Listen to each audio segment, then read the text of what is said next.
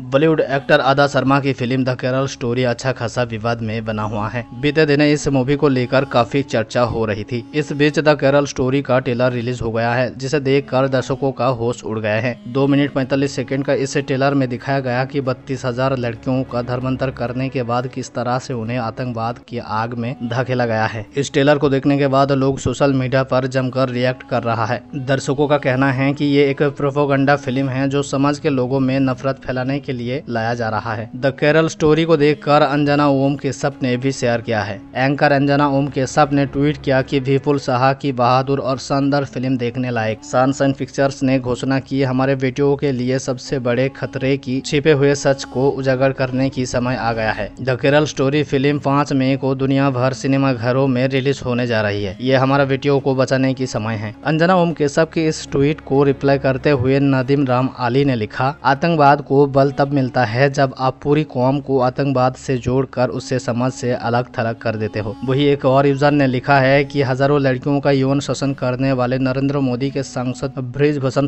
सिंह के खिलाफ तो बोलने की हिम्मत नहीं है और प्रोपोगंडा फ़िल्म को प्रमोट करने का वक्त मिलता है। शंकर कुमार नाम के एक शख्स ने लिखा, मुस्लिम के खिलाफ एजेंडा चलाने वाली आखिर किस मुँह से अपने आप को पत्रकार कहते होंगे? माना कि अगले साल आने वाली चुनाव की तैयारी शुरू हो चुकी है। लेकिन क्या भाजपा नेता इतने निकम्मे हो गए हैं कि अब इस तरह की नफरती एजेंडा अब तथा कथित पत्रकार चलाएँगे। वही आशुतोष राय नाम की एक शख्स ने लिखा कि बिल्किस बानू की रिहाई पर तुमने कभी सरकार से सवाल पूछा। बेटी तो वो भी है किसी की? द केरल स्टोरी टेलर को शेयर करने के बाद अंजना ओम के सब के इस बयान को आप कैसे देखते हैं, कॉमेंट करके ज़रूर बताना। और ऐसे ही वीडियो को देखने के लिए चैनल को सब्सक्राइब ज़रूर कर लेना।